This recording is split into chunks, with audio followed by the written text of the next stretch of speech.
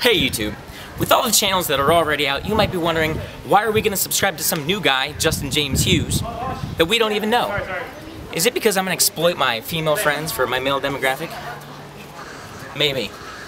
Is it because I'm going to exploit my good-looking guy friends for the female demographic? Chester. Maybe. Is it because I'm going to have famous YouTubers on my channel from time to time, just for more views?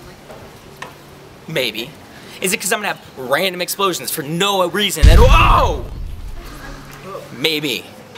But one thing I will not do is I will not rely on shock value for laughs or views. It's cheap and I'll have no part of it. So subscribe, because I don't even know what's coming next.